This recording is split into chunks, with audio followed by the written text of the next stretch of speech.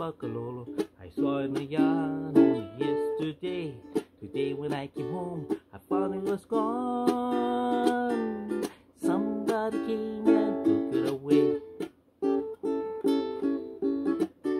One day I found some tiny little seeds. I threw them out the window. I figured, hey, no need. Six months later, found to my surprise, stood 50 bushes, 20 foot high. First I didn't know just why they grew so tall.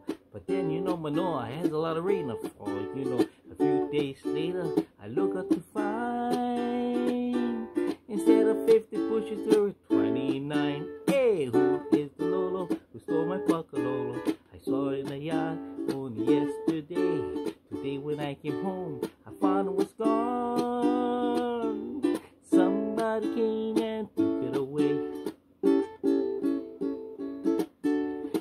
Very next morning, they were pounding at my door. I said, hey, go away. They were pounding some more.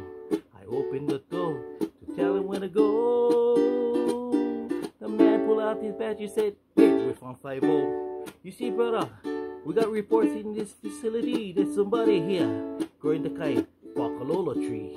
They went to my yard, discovered my home. Instead of 29, there was nothing at all. I like to thank the Lolo who stole my Pakalolo. I had it in my yard only yesterday. Lucky for me, the races are gone. The man with the bat would have took me away. Hey, who is the Lolo